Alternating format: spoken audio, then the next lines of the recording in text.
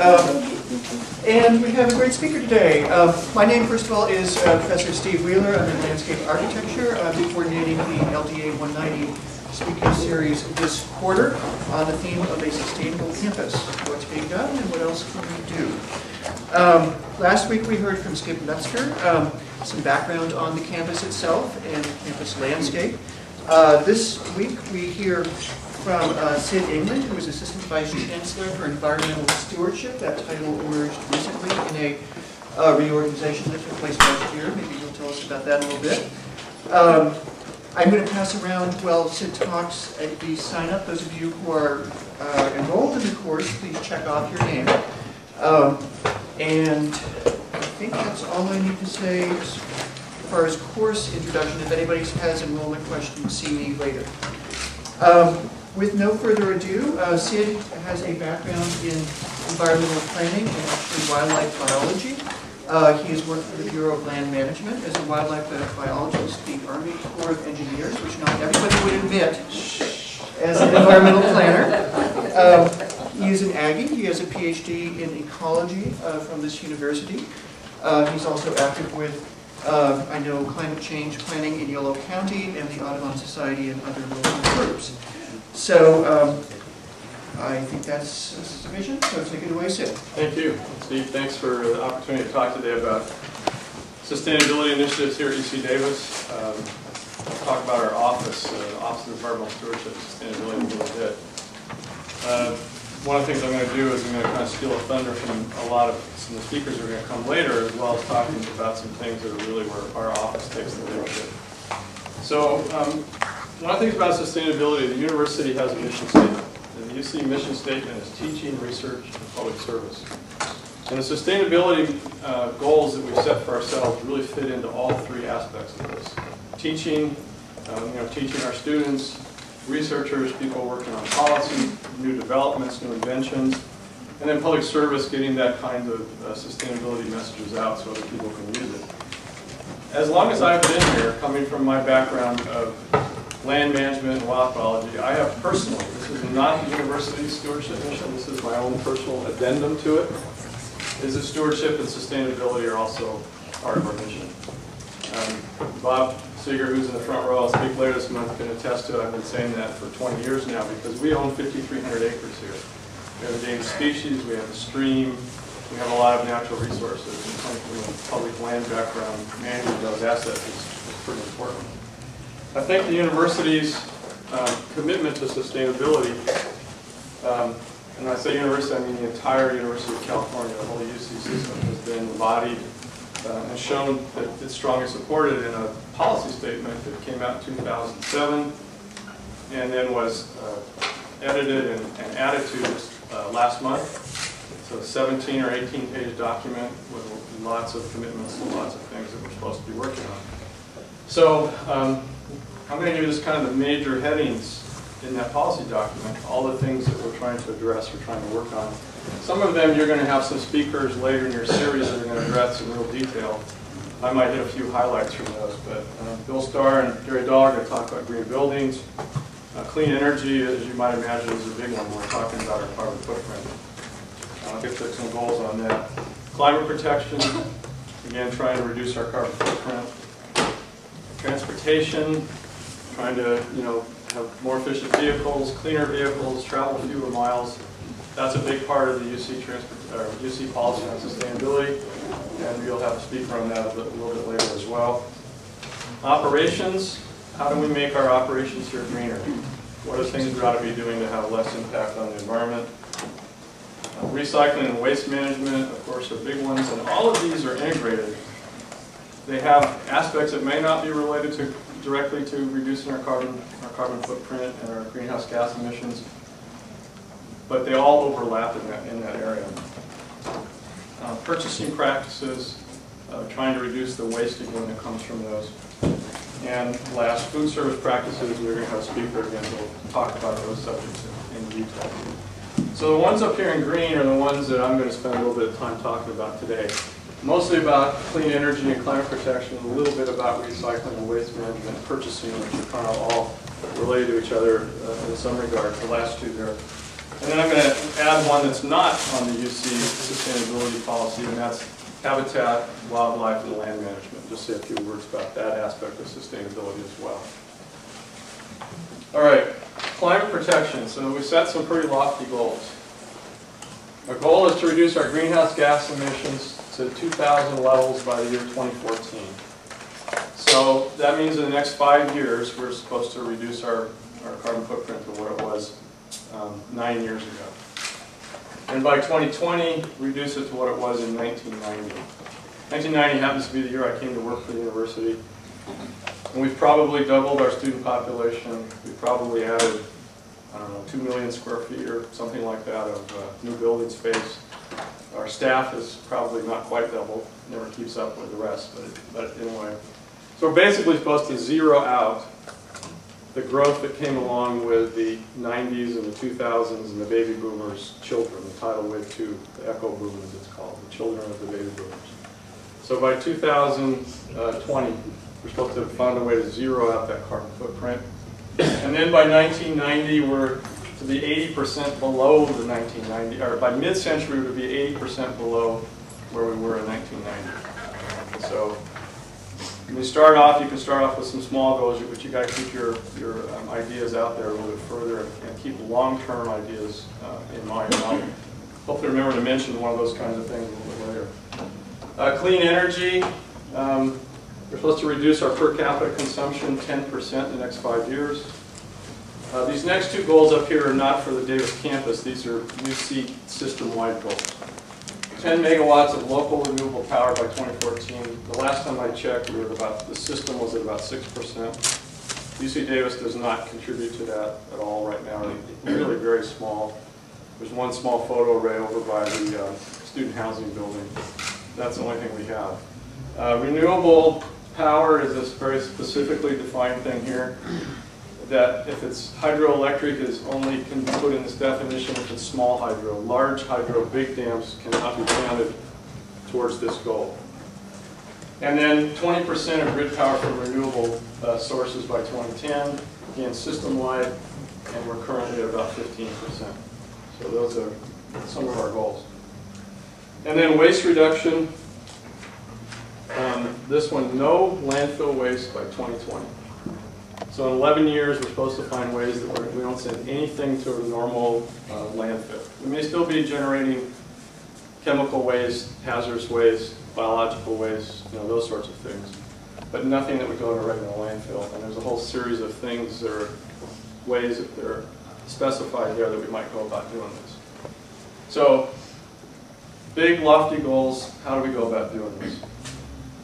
And I just want to give you a little idea of the scale of the challenge for UC Davis. So if you're, you're, we work in an office where we have the, the advantage of getting an overall view of everything that's going on. And we're really quite a big operation. Uh, this is a photograph of just what we call the central campus here. So here's Highway 113 that up to Ireland. Here's Highway 1, Interstate 180 to Sacramento and, and San Francisco here. So this is what we call the central campus. This is about 900 of our 5,300 acres that we have here in Davis, okay? Just to put that in perspective, this 900 acres, you could put the Berkeley campus once, UCLA twice, and have nearly 100 acres left over. Okay, just to give you an idea of the size of this place. So it brings a lot with it a lot of challenges. Over a thousand buildings, and that's just in Davis. Lots of students, the employee number here includes um, all UC employees, whether they're on the Davis campus or they're in Sacramento or, or someplace else, and that's temporary and part-time added together. And then we have outlying facilities. So when we're thinking about how we're going to be sustainable, we don't just think about our piece of land or our campus here in Davis, we think about everything. So this is the, the medical campus over in Sacramento. It's about 130 acres. They've got a couple million square feet of their own uh, facilities over there, and they've got you know, 15,000 employees. When we're looking at our carbon footprint, we have to include them. It's not like we get to forget about them. And they're very, as you can imagine, hospitals, clinics, research laboratories, they're very energy intensive. And then we have a number of significant outlying facilities. I guess I have that one up there twice, don't I? Uh, Marine Laboratory shown here. Uh, Tulare Veterinary Medicine Center, Tahoe Environmental Research Center. That's just a short list of the things that we have scattered up and down the length of the state that are part of what UC Davis administers. Um, So it's a really big challenge. So where are we? What's our carbon footprint look like? One of the things in our office, um, environmental stewardship and sustainability, is we're putting together the, the campus's current, projected future, and historical carbon footprint to help us identify what our goals are. So this is uh, metric tons of CO2 equivalent, and I don't know, if, should I explain what that means? or- Right. Okay, so there's six Kyoto greenhouse gases, and carbon dioxide, of course, is the main one. But the other five are also significant, and they have a greater effect on the environment than carbon dioxide does. So there's multipliers. So methane is 28, Alan, is that the right number? Thanks. So every molecule of methane that you put in the air has 28 times the effect of one molecule of carbon dioxide. So when you're looking at these other five gases, you have to turn them into what we call CO2 equivalents by multiplying them so that they are on the same scale as CO2. So this, the Davis campus is about 250,000 metric tons of CO2 equivalent per year. That's, that was our estimate in 2000, for the year, calendar year 2007. We're working on the 2008 numbers right now. We don't have, quite have them together. Within a, a week or so of having them, but this was the 2007 estimate. It's, you can see that places like Berkeley, Irvine, San Francisco, San Diego are quite a bit lower than we are. Um, Los Angeles, a little bit higher. We're pretty comparable to some other large campuses in other parts of the country, Arizona State, Cornell, Maryland. So we're, we're high on the high end for the UC scale, but we're within the range for a whole variety of campuses. And um, I have to admit that um, carbon footprint reporting is not as exact a science as you might hope. Um, But we take a pretty conservative look here, and conservative in the sense of trying to be very inclusionary and be as accurate as we can. And so sometimes when you're comparing to, I won't name names, but when you're comparing to other campuses, uh, you might not be comparing apples to apples. There may be a, some things that are in ours that aren't in some of the other ones, but we're trying to be as inclusive as we can um, as we go forward. Is that diplomatic enough? Is that? All right. So if we look at all of our UC Davis sites and we say, where's our carbon footprint being generated? About 70% of it is um, here on the UC Davis campus. So it's about 175,000 uh, metric tons. 27% at the medical campus in Sacramento. About 6,600 tons at outlying facilities, about 3%. And our fleet, you know, it's not a geographic thing, it's, it's calculated a little bit differently when we submit, our submittals to the state. Fleet is broken out um, is about 1% of our, of our total emissions. So, um, anyway, that's, that's where the, it happens geographically. So obviously, the Davis campus is the, the largest part of that. When we look at the Davis campus and break it down between different sources to see where it's coming from, purchase electricity is about 51%. So about half of our carbon footprint comes from our use of electricity. That number really varies a lot from year to year because we buy our power, most of the rest of everybody in the state buys their power from either Sempra downstream Southern California, Southern California Edison in the LA area, Bakersfield, or PG&E you get further north. We don't buy from those, we buy from a federal agency called the Western Area Power Administration.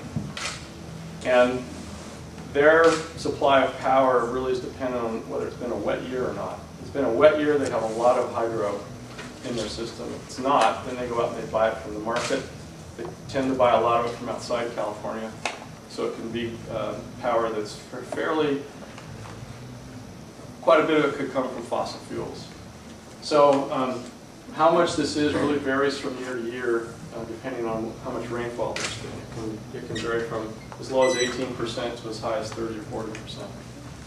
So I hope today to give you what our, uh, the timing of this lecture is just a couple weeks earlier than it would have been nice, but um, I hope to give you what our 2000 or 1990 targets are, and I'd be happy to come back with those you know, in a few weeks. But because of this variation in rainfall, we're going to have to do some smoothing to kind of get a curve where we can pick a 1990 and a 2000 number that's not just the vagaries of that particular year, but something that's more of a trend. So we're working on trying to figure out how to do that right now. The Sacramento campus, the medical campus, is a whole different story. 92% is from stationary combustion. And the reason for this is a few years ago, they decided to build a cogen plant, which is very efficient, really reduces um, emissions to the atmosphere, but it burns natural gas. There's not a whole lot of alternatives to that. You can't go out and buy, I mean, you know, maybe in the future you might be able to buy biogas and offset it and and do some things like that, but right now those kind of options aren't available. So for the next 30 years probably, they're committed to that as their primary source of power.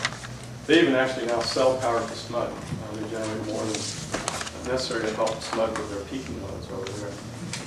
So one of the things that this does is, we're looking here at our stationary combustion on campus, which is about 40%, we have a chilled, uh, chilled water, or a central heating and cooling plant that does chilled water and steam. We need to do upgrades to the system, and so one of the things looking, you know, way out to mid-century, one of the things we want to think about now is, do we replace the existing boilers with gas boilers, or do we find ways that we could convert to electric boilers? What does that mean cost-wise? What does that mean maintenance-wise? If you go to electric, then maybe you have other options. You can look for greener power, electrical power sources in the future, but as long as you're committed to natural gas, you're kind of What are some of our special challenges? We get involved in everything that has to do with greenhouse gas emissions, more so than any other campus. If you're at UCLA and you get on the local public transit, the footprint of that public transit is the public transit's issue, not UCLA's issue. You get on our Unitrans, we own it, we run it, it's our footprint. If you're at Los Angeles and you turn on the faucet, you're getting water from Metropolitan Water District. The energy costs of that water are an issue that the Metropolitan Water District has to deal with. Not so here, we have our own water system, we have all of our own utilities. So all the energy costs, are that's one of the reasons why our bar is a little bit higher than others. Okay. We're very science intensive. I I don't know if we're the most science intensive of all the campuses, I can't remember, I think that's right. Labs are big energy consumers. It's another issue we have to deal with. And there's four other campuses that have health sciences, um, but we're the only one that also has a veterinary school, which is basically another health sciences school, and all of the intense uses that go along with it. Our power supply is unique, I mentioned that already.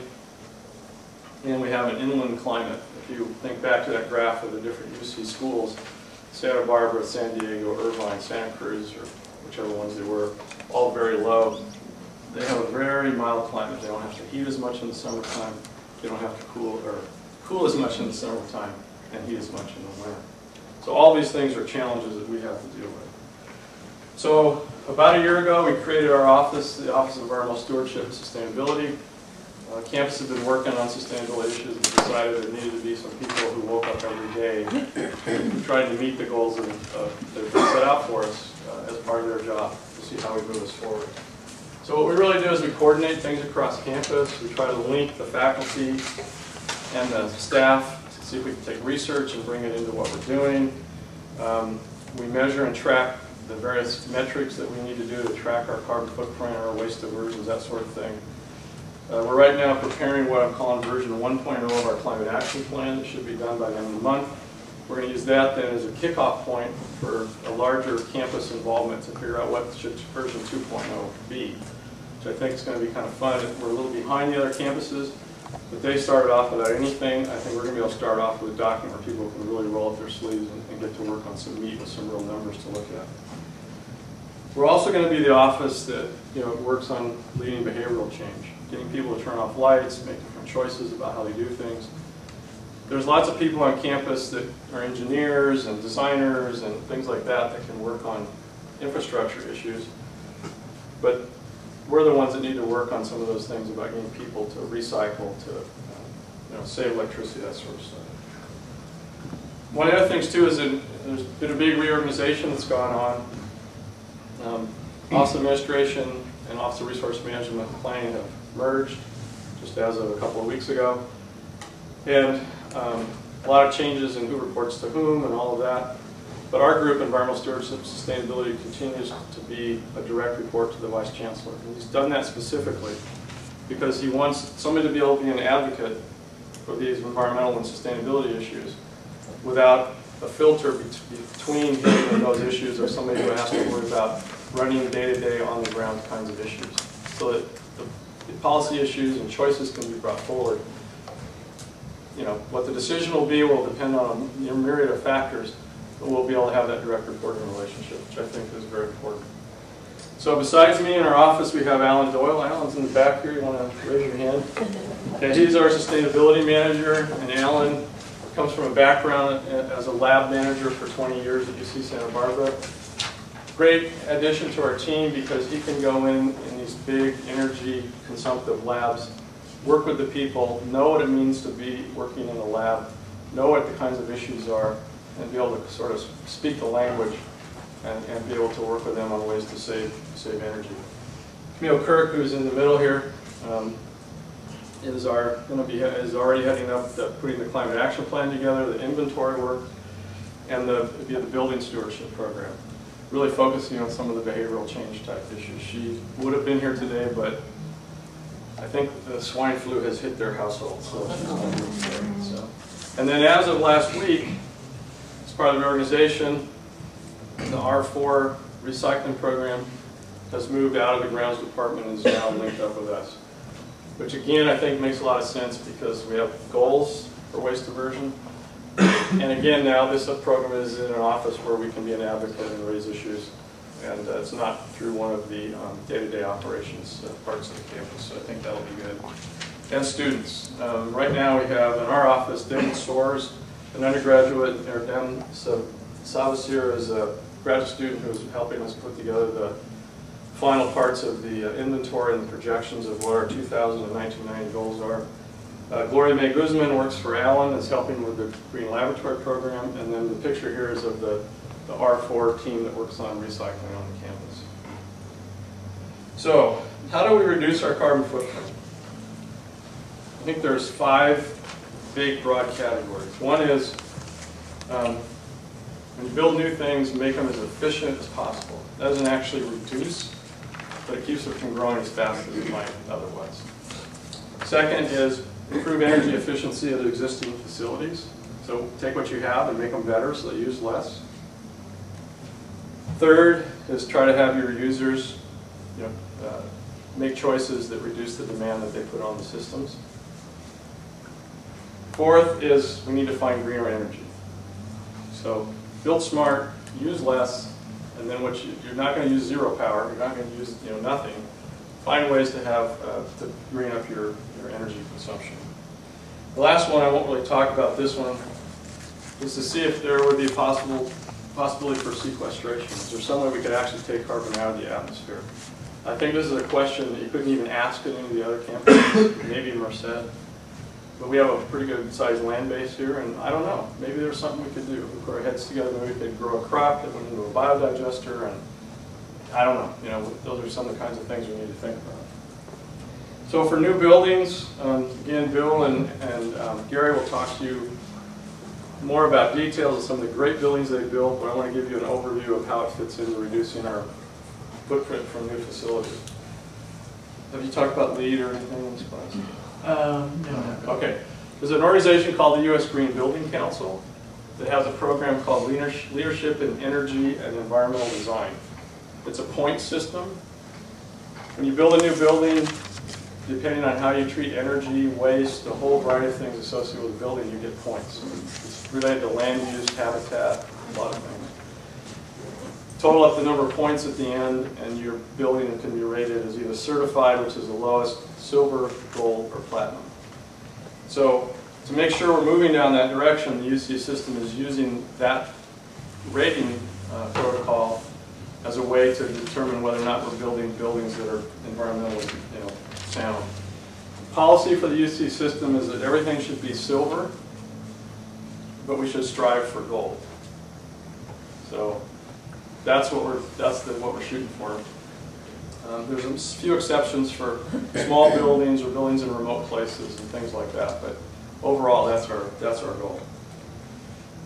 There's another, there's a thing called the Title 24 of the California um, Energy Code. It's a, probably the strictest building code in the United States about how, about energy efficiency in buildings.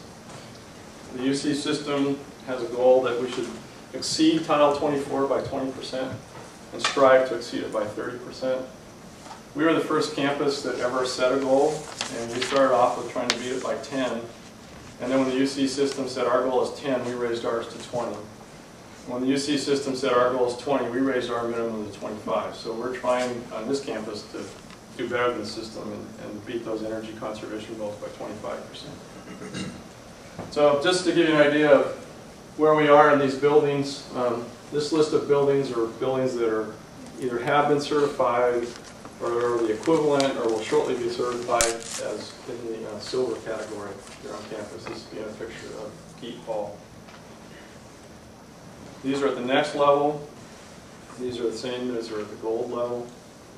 Some of you probably had classes and things in them. And these are two that are at the very highest level. The Tahoe Environmental Research Center is actually fully certified. It's up at Lake Tahoe. If you ever get a chance to go up there, you can tour the building. It's on the Sierra Nevada College campus in Incline Village. It's really an amazing building. Rainwater capture, micro uh, generation within the building. The actual local power grid is the backup to the building. Um, I'm trying to think. They actually brought a mill in on site milled trees on site to create some of the wood that was used in the building. Uh, it's really quite quite innovative. All of the this picture I have to tell a little story. When the all of the rooms have motion sensors in them, so if there's nobody in there, the lights go out. So they wanted a picture at dusk with the you know sunset in the background, and they wanted all the lights on. Well, how the heck do you do that? You get a whole lot of students and a bunch of radios, and you say, all right, everybody, everybody knew where they had to go, and you say, go. And as soon as all the lights come on, they tell everybody to duck. so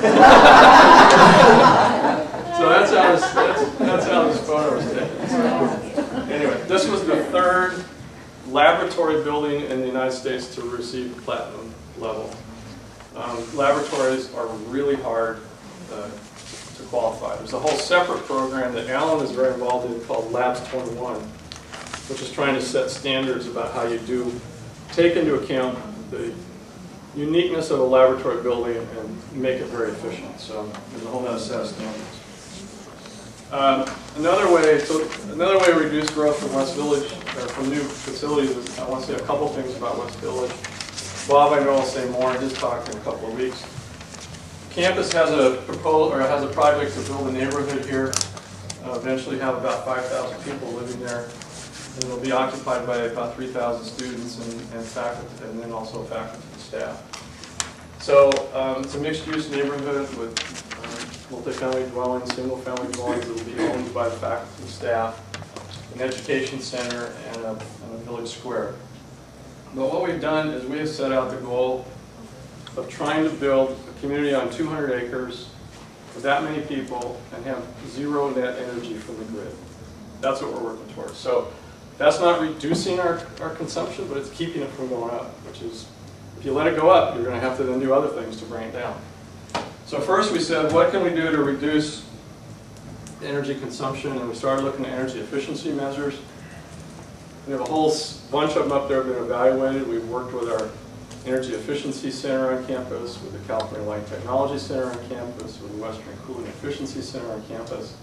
We had a technology contributors forum where we evaluated which ones we put in there to try to get the energy consumption down so that then we could see if it'd be possible to produce enough renewables on site to balance the load on an annual basis. On an instantaneous basis, there may be sometimes electricity flowing one way or the other from the grid, but on an annual basis, it would approximately zero out. So what we're talking about now, the big components of it are high, lots of energy efficiency measure, what we're calling deep energy efficiency. We're seeing, what we're thinking we can do is that the, the um, those business as usual meeting just Title 24 standards, this neighborhood would consume 22 million kilowatt hours of electricity per year. We think with energy efficiency we can get that down to nine. Okay, and just to put this in perspective, the electrical consumption of the whole Davis campus here in Davis is about 280 million kilowatt hours a year. So that's a pretty significant piece of that number that we're going to keep it from going up, we hope. And then solar thermal on the homes to preheat water, and then we can use electrical heating on site to get it up to the temperatures we need in the home, and that allows us to eliminate the natural gas system from the single-family dwellings. Then we're looking at distributed solar photovoltaics. It would be not on individual homes, but in common spaces. Easier to manage, easier to install, um, a lot less costly. We're looking at up to five megawatts of installation. And then a community energy park where we put in a biodigester, where we take waste from the neighborhood and from the campus, digest it to produce methane and hydrogen, which would then go to a fuel cell, which would produce a base electrical production and a battery that could store it, an advanced storage battery, that could then put it into the system as it's needed over the course of the day. And then all of this would be linked with a smart grid. And the smart grid, uh, we're, this is, we're going, this whole thing we hope will be a learning, a living laboratory where we can research new technologies and things. So for example, one of the ideas would be that you could come in in the future, park your plug-in hybrid electric vehicle or electric vehicle under a covered parking space, you get the, sh- the shade benefit, but it's got solar on top. You could plug your car in right at the base, wave a card in from a sensor, know who you are, and it could put that electrical consumption on the proper bill. So a smart grid would talk to itself and do all kinds of things, that's where we're hoping to go. All right, how do we improve existing energy efficiency? We have a program called the Strategic Energy Partnership with PG&E. It's a 2009 to 2011. We've just found out we're going to get to add another year. We're going to spend over these three years about $31 million in energy efficiency projects on buildings here on the campus. Sacramento campus has its own program. About $12 million will come from PG&E towards this program. We'll spend about 19 million, and that'll be funded by savings from our energy purchases. So we're going to be working on about, there's about 162 projects at about 80 to 90 buildings. Uh, Monitoring-based commissioning is where we go into the building, and just like a car gets out of tune, a building does too. So monitoring-based commissioning is where we go into a building, we tune up the heating and air conditioning system, we look at a whole variety of electrical systems and tune them up so that they're operating at best efficiency. We're looking at lighting retrofits, and then also improvements to the heating, ventilation, and air conditioning systems. So the uh, potential savings from this program, we think once it's all in place, we'll save about five and a half million dollars a year from our purchased utilities budget and about 38 million kilowatt hours per year. Again, compared to our campus right now demand of about 228, there should be a million in there. It's not 228 kilowatt hours per year, it's 228 million kilowatt hours per year which is about 16%, so it's a pretty significant program. Um, The other thing that's going to happen in addition is that we just, we've been building a lot of new stuff. As time goes on, we're going to be building uh, money that we do have for capital projects, which is getting to be less and less with budget issues, but there's going to be a lot more renovation projects. And those renovation projects will be opportunities to go into older buildings and get them up, you know, with more efficient systems as well. So that's another way we're going to improve our energy efficiency. Um, There's another LEED program, remember I talked about the LEED for, you know, silver, gold, and platinum, that was for new construction. There's a whole nother program for what's called Existing Building Operations and Maintenance. One of my favorite acronyms, EBOM, EBOM. The one we're starting with is is Shields Library. And they have a whole rating system where you go in there and you go through this, the, the building and you, again, it's a point system. And it's not just the building. And it's not just electricity, it's water consumption. What kind of fixtures do you have in there? It's sitting down with people and training them about recycling. It's sitting down with people and talking to them about transportation options and things like that. So it's a broad program. We're starting off with Shields Library and, uh, and then we'll grow from there hopefully. We have already in place a refrigerator freezer buyback program. Uh, campus right now, if you're, if you're in a lab, um, maybe other settings too, I guess it's in general. If you have an old freezer before 1994, it's not energy efficient. And the campus is willing to, to match up to $400 for the purchase of an Energy Star refrigerator. plus we'll pay the cost of disposing of the old refrigerator appropriately. So if any of you are, you can go look at the nameplate inside the refrigerator. Somewhere in there, there'll be a little plate that'll tell you the model and all that stuff, and it'll have the year that was produced. If it's before 1994, um, that program is available.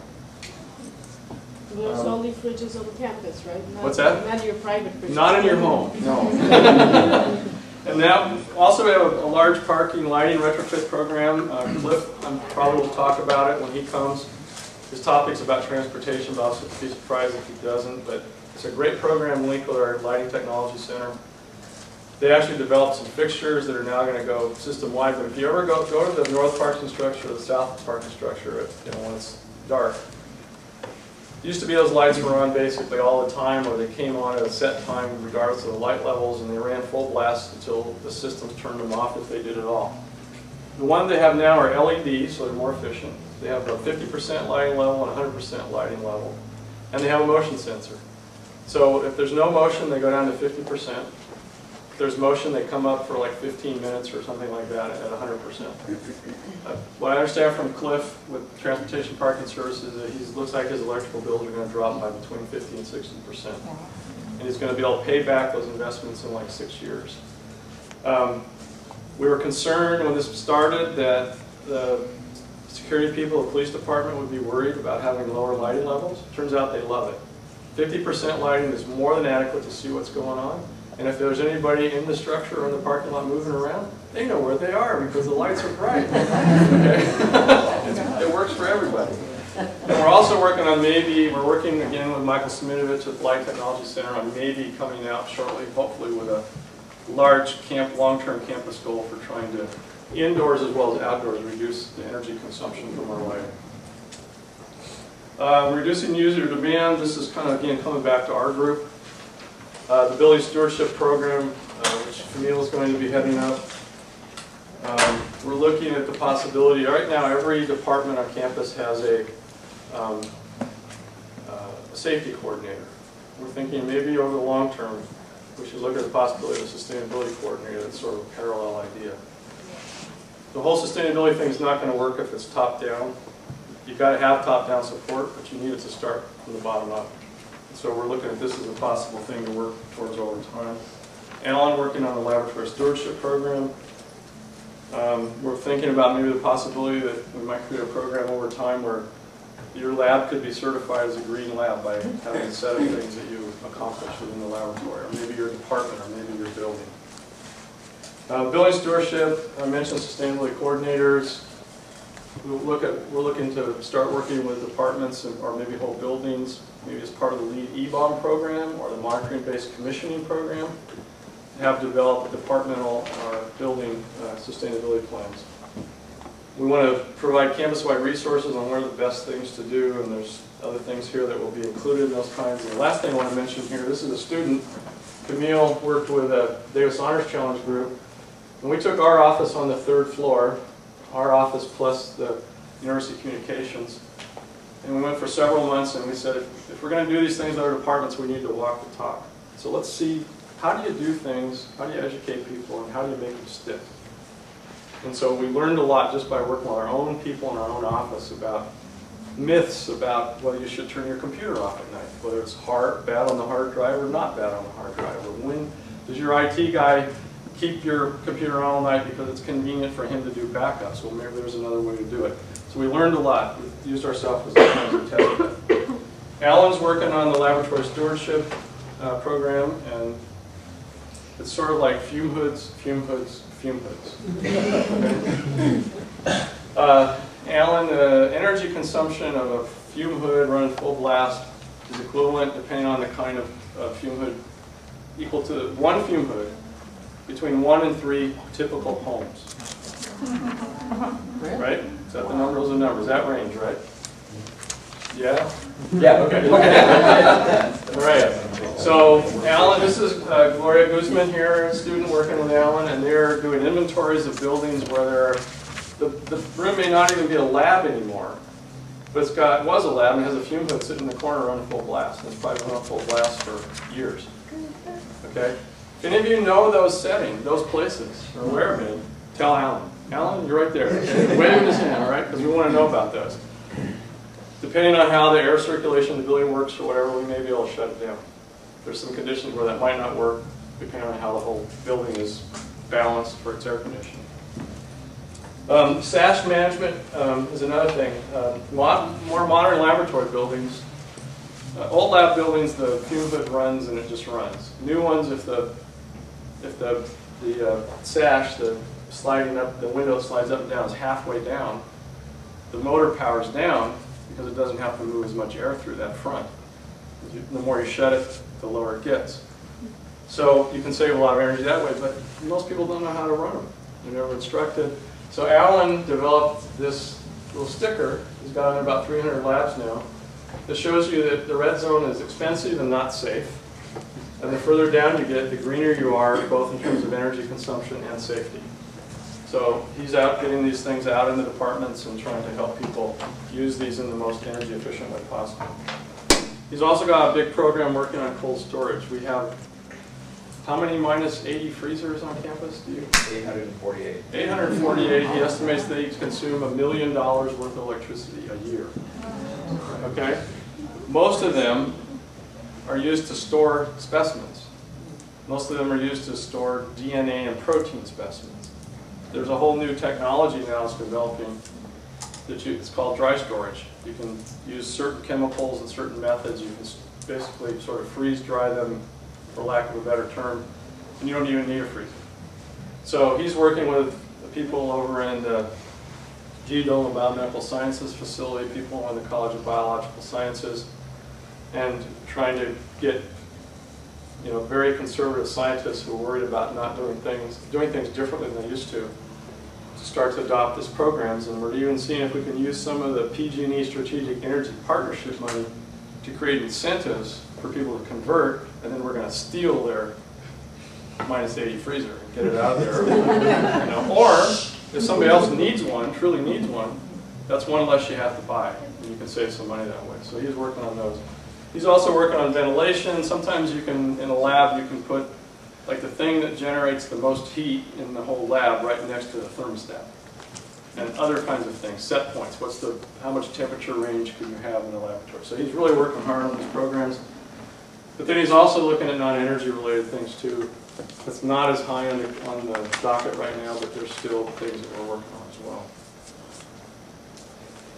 And then how do we reduce our, our carbon energy, our footprint from our carbon? First thing is um, West Village. Um, you know, we're trying to bring that out of zero net energy. Second thing is we've had a campus solar work group. Phase one is we're looking at about putting 900 kilowatts of uh, photovoltaics on the campus.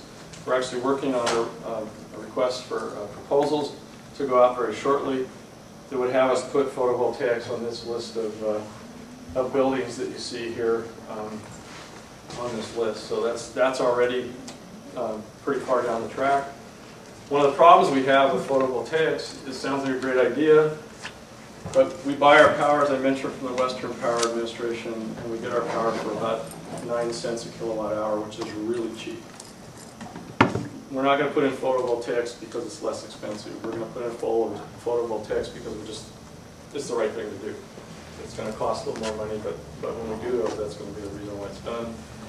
And then we've got a phase two that we've just started on, thinking about whether we should do some bigger installations on campus or look at other buildings and kind of learn something from this, this smaller uh, going forward. So when I showed you that we didn't contribute to the renewable resources system-wide, that'll start to change as, as time goes on. Uh, Waste reduction, just a couple of things I wanted to mention. Um, We achieved a 69% diversion in 2008, so that's really high. It's maybe the highest in the whole UC system. I have to put a big caveat on that, though. That does not include the Sacramento campus. So the Davis campus is doing quite well, but when we add our other facilities in, it's going to take a big dip. And then West Village, though, is going to be real interesting because we're putting in the biodigester. It's going to take various organics from West Village in the biodigester. But then we're also looking at taking green waste, food waste, and animal waste from the campus and using them in the biodigester. So um, that can help us in a bunch of ways. It could generate electricity. It could help us with our waste diversion goals. Um, and also, some of these, like the animal waste, could actually help us with some water quality issues we have associated right now with disposing of animal waste. And then the last thing I wanted to mention was um, habitat management. Again, this is not part of the UC policy, but I think it's important when we're talking about sustainability. Uh, The Putah Creek Riparian Reserve and the Russell Ranch Mitigation Area, all is about 550 acres. It's about five and a half miles of stream frontage down along Putah Creek. We have a reserve uh, manager and a reserve steward who manage it. Um, They're in Bob's group in, um, what's the name of your group now, Bob? And community resources. They were just reorganized, and uh, now they're mashed up in that group, which I think is great with the Arboretum and the grounds, and I'll show you some things that are coming up. We have two endangered species there, the Valley Elderberry Longhorn Beetle on the left and Swainson's Hawk on the right. So thinking about these from a long-term perspective is another important aspect of what we're doing. Uh, By setting the, uh, up the reserve, I think we're doing a great job. And I'll mention the Russell Ranch mitigation area. As part of our mitigation for development on campus, we've taken 380 acres that was in agriculture and looked like this a few years ago. It was 10,000 of these posts, wires, uh, ornamental trees as windbreaks, and we've gone in there, and this is what it looks like today. This is the beginnings of restored natural grassland. Um, The the orchard there that we took out had been abandoned, and for about 10 years because it wasn't viable economically, and we had oaks that had grown up volunteer, and when we saved them, we worked around them. So we actually have a five-year-old restoration site that has 15 to 20-year-old trees, which is like really cool. Um, A lot of this work, not at the Russell Ranch, that's large scale, but on the reserve, on the main campus, a lot of restoration work, oaks, grassland plantings, a lot of volunteer work. Andrew and JP have done a great job there. And now what's started to happen, will happen more, is they're taking their talents and things, and their experience, and they're helping us design and implement natural landscapes on other parts of the campus outside the reserve. So this picture in the lower right is a stormwater uh, detention pond out by the Primate Center, out at uh, Road 98 and uh, Russell. And it's grassland, wetland, and you can see some of the, the trees that were planted here. And with, working with Bob now and his new group, they're gonna be looking for more opportunities to do that on campus as well. So, right at the end, I think I'm right here at the right time. Uh, What is sustainability? We've been talking about it. It's a word that I think has started to have so many definitions that you don't really know what it means anymore, sort of like green. This is the Brundtland def- uh, Commission definition in the 1970s, I think it was, the United Nations put together a a commission, and this is the, the definition they came out with. And that's more or less the one that the University of California uses. There's a few others, though, that, that I've heard that go into different meetings and things that I kind of like. So there's an economist, there's a parent, this is. Okay, um, there's a golfer. And if you have any others, I'd love to know, so I could, I could add them to the list. So, will we achieve our goals? Um, I think by drawing on all of our expertise and trying to work together. I think that we have to combine it with society kind of changing its goals and its emphasis in other places. And with all that, I think the answer is yes. So, if I, thank you, and uh, be happy to answer. Okay, I'd just like to point out one thing uh, about Sid's talk, and I think that you'll notice about our other talks in this series also, is just how interdisciplinary this work is. Some of it's design, some of it's planning or environmental planning, some of it's policy, and some of it may be other things, engineering, technology. And that's what sustainability is about, it's about coordinating these things together. We have time for maybe one or two quick questions. Would anybody like to lead off? Okay, thanks. No, I'm serious, if there's any questions, or come on Okay, well, down. Sid will be available. Thank you, thank you very much, Sid, for joining.